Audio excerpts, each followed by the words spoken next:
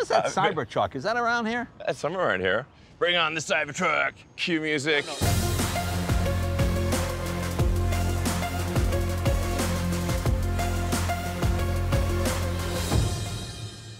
You know, I saw it on TV, I saw it at the intro, but nothing strikes you until you see it in person. Back in November of 2019, Elon made headlines once again when he revealed this science fiction inspired machine. Pickup truck buyers tend to be pretty conservative in what they like. It needs to look like a pickup truck, you know, all that kind of thing. And this doesn't look anything like a pickup truck. Yeah. But it immediately makes pickup trucks look old fashioned. Well, I think there's a preconceived notion of what a pickup truck should be. And I think that's something that we said, if we're going to go bold, we need to do something that breaks that norm. Yeah, so back here we have the vault. Okay. Touch of a button. Just opens right up like yeah, magic. that's very cool. And a good sized bed, yeah. Yeah. If you want to mount like a missile launcher or something, you can do that. Yeah. And closes them. And how strong is that? This, you can walk on this very thing. You can walk on it? yeah. It's, it's very strong. It's like so if you've got uh, some valuable cargo in the back, uh, this this will protect your cargo and secure it against uh, being being stolen. So it's uh, pretty stout. People of Tesla! Let's take it for a drive.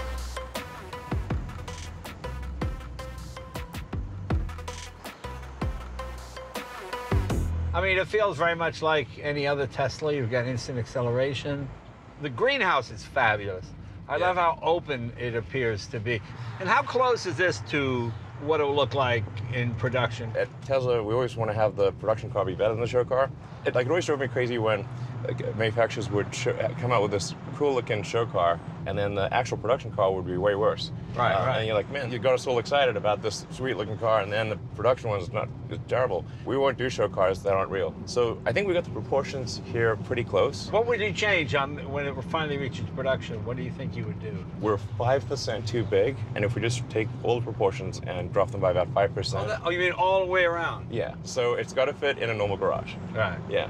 And there's like there's lots of little details that uh, you people wouldn't necessarily pick up consciously. You know, Just improving visibility. Ha- having the glass like this is, Right. is actually quite hard because it's so sloped. Is that a special kind of glass? Is that different yeah. than Well, normal windshield glass? Um, we are going to be using um, effectively uh, a form of arm- armored glass Right. for the car. And the door panels of the car are the 300 series stainless steel, and it's so tough that it's bulletproof to a handgun. and, and why is that important to you that it be bulletproof? I mean, I don't. It's badass and Well, yeah, okay. super cool. That's super cool. but see, I like mean- that answer. I it's mean, a good answer. Do you want your truck to be bulletproof or not? Yeah, I guess I, Sure. I, I guess I want my truck to be bulletproof. Yeah, sure. exa- exactly. You know, it's never know. When the apocalypse comes, you should be glad it's bulletproof. We want to be a leader in apocalypse technology. Exactly. There's your SpaceX headquarters right there. Yeah. Yeah, the, the Boring Company tunnel starts just there next to the SpaceX parking garage. Oh, is that right? How, how, how, how long is that tunnel? Uh, that's about a mile and a half. Wow.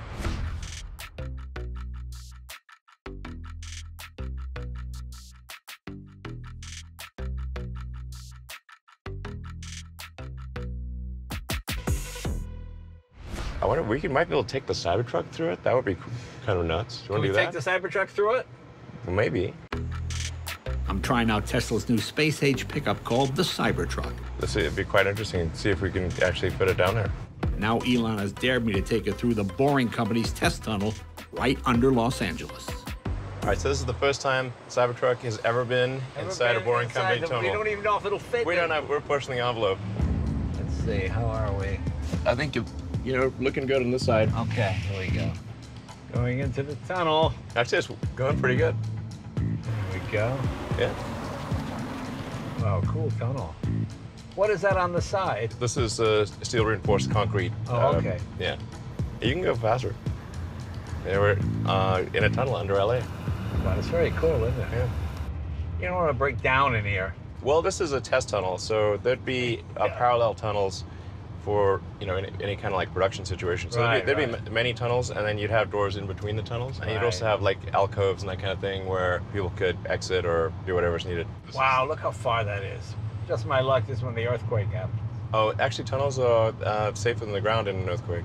tunnels are safer than the ground? They think of like earthquakes are like waves on the surface. Right. Oh, I and see. and if you, let's say there's a if you're there's a hurricane, you'd rather be in a submarine than a ship. Well, that's true. Now normally this would be on autopilot, so Right. you wouldn't need to drive at all. So the idea being you drive your Tesla down, you put it on autopilot, and it would take you through the tunnel. Yeah. So this is the elevator. Oh, the elevator takes us up? Yeah. Oh, very cool. They get right to here and just stop where? Right about here? Wow, we just barely fit. Here we go. Well, now we're taking the elevator Hopefully we up. don't catch on anything on the way up. It's hilarious. Yeah. How crazy is this? And just go forward. Yeah. Elon, thank you very much. This is a kind of a bucket list thing to get a glimpse of the future, and, and you're doing it, my friend, with the boring machine and going through the tunnel and this car. It's very cool. I hope Thank the you. next 12 years is as good as the last 12 have been. Well, thanks. It's been a, certainly a very eventful journey.